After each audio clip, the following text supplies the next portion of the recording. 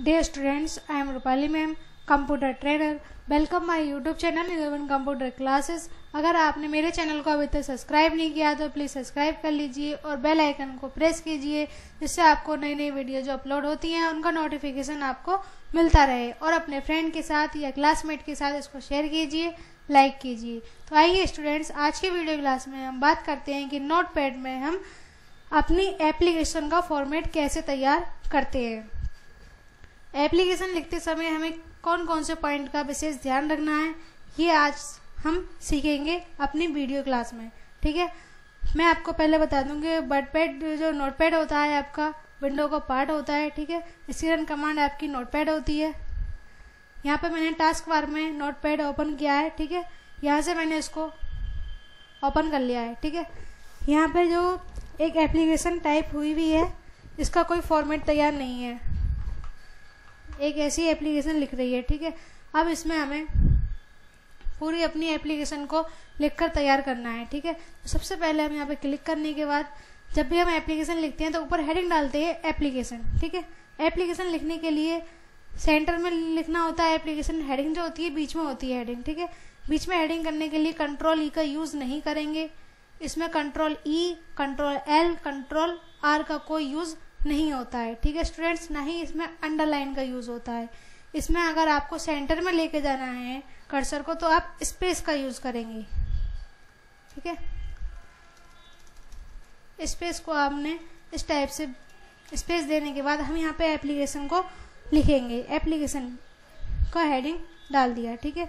A double P L I C A T I O N ठीक है?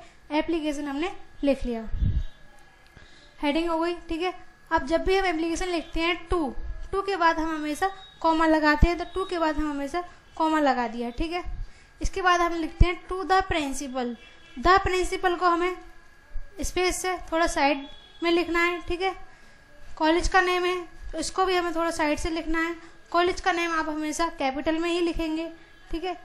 इस्लाम नगर है, इस्लाम नगर को भी हमने साइड में लिखा है। एस डी डी आई के जस्ट नीचे ही हम इस्लाम नगर बदायूं लिखा है, ठीक है? इसके जस्ट नीचे आता है आपका सर, ठीक है? सर के बाद हमने कॉमा लगाया है, ठीक है? कॉमा के बाद हम लिखते हैं most respectfully I beg to say that I have been suffering from fever since the last night ये जो लाइन है आपकी, ये थोड़ा सा इसको आप साइड में रख दीजिए, ठीक है? ये इस टाइप से साइड में आ गई है। अब जो सिंस वाली लाइट, लाइन है आपकी, इसको भी थोड़ा आप इस टाइप से।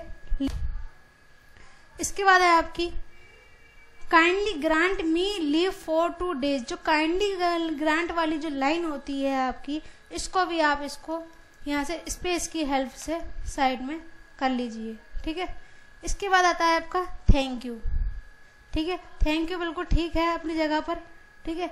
फिर आता है आपका योर ओविडेंटली योर ओविडेंटली भी अगर आपको आगे बढ़ाना है तो आप आगे बढ़ा सकते हैं। ठीक है? लग रहा है आपको कि स्पेस कम है।